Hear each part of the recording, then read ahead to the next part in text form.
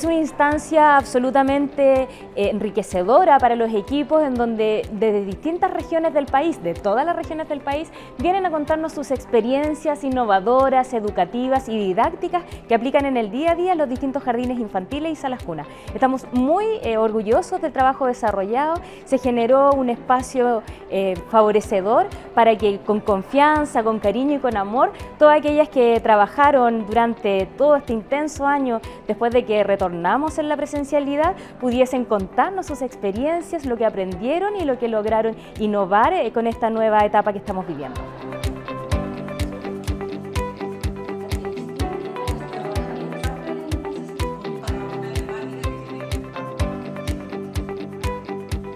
junto con eh, nuestro cambio de ciclo político y desde que asumimos el gobierno del 11 de marzo, eh, hemos podido ver cuáles son hoy día las deficiencias y las debilidades que tiene nuestro sistema educativo. En el caso particular de Junta Integra me gustaría invitarlos invitarlas a, en esta hoja de ruta que están construyendo, soñar en el fondo cuáles son los cambios que quieren hacer. Un elemento esencial del cambio de paradigma es el trabajo colaborativo, el trabajo en red y la posibilidad de compartir experiencias para la mejora. Este es el primer comparte que eh, se desarrolla en el contexto del regreso a la presencialidad, que nos permite de alguna manera volver a, vernos interactuando, eh, pensando, compartiendo las reflexiones de los equipos educativos de una manera eh, humana, mucho más cálida, mucho más cercana. Eso tiene un tremendo valor porque la calidad de las interacciones sabemos que son determinantes para los procesos de aprendizaje en cualquier etapa de la vida, así que es un privilegio poder eh, aprovechar y estar en este espacio.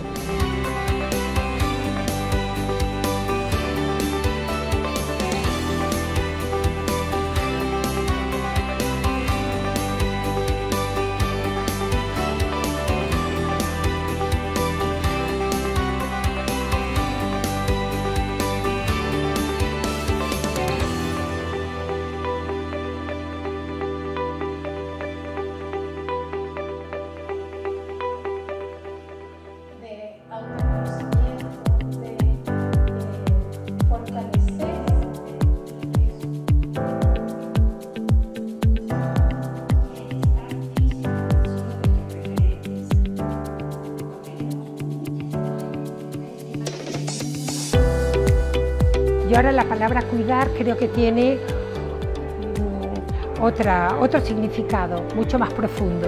¿eh? Por eso decíamos que el cuidar tiene que ver con el cuidar emocionalmente, con el cuidar la relación, con, con el cuidar el vínculo. ¿no? Y entonces yo creo que la escuela infantil es un espacio de cuidado y de educación, porque no lo separamos.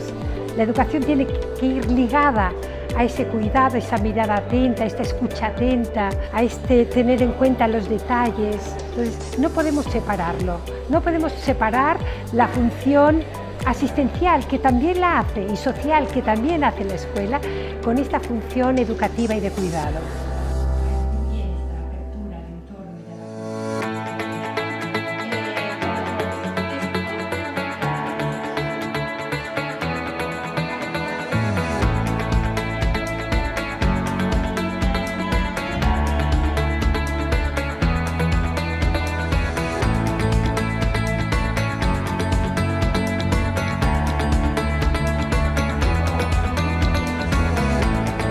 La experiencia que hoy día eh, a cabo es relacionada con reactivar el CEPA, el Centro de Padres, para poder trabajar con el equipo del jardín infantil y también con toda la comunidad que nos acompaña, porque son de los pilares fundamentales que tiene hoy Fundación Integra, que es la integración y que las familias puedan participar. Es un pilar fundamental que nosotros valoramos y lo reconocemos como primeros educadores.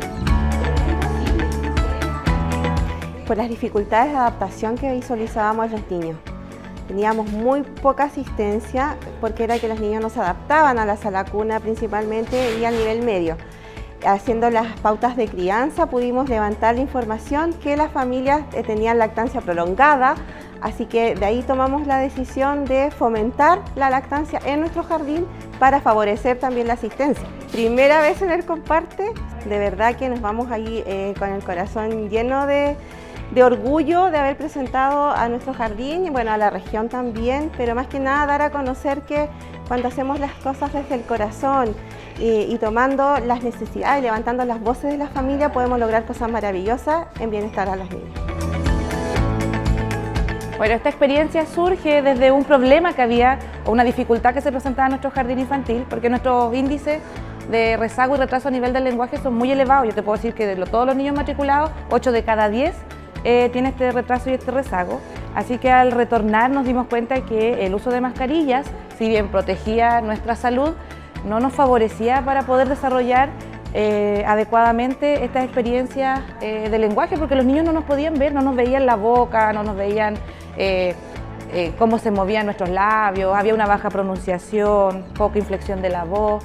Y de esa manera fue como llegamos a la construcción de una herramienta que le llamamos biombo lector, que básicamente es una estructura con forma de rectángulo ¿ya? y que estaba recubierto por vinilo transparente que nos permitía el poder sacarnos las mascarillas y entonces así eh, poder otorgar a los niños toda nuestra expresión facial y toda nuestra voz para que ellos pudiesen mejorar sus índices de, eh, de lenguaje. Y cada vez que sacábamos el biombo lector, automáticamente teníamos al grupo de niños sentados, expectantes y en silencio, que eso fue una de las primeras cosas que nos empezó a llamar la atención. Y ellos lo bautizaron propio y le pusieron que era la tele. Entonces, para ellos era como que sus tías estaban en la tele cuando desarrollaron la experiencia de aprendizaje.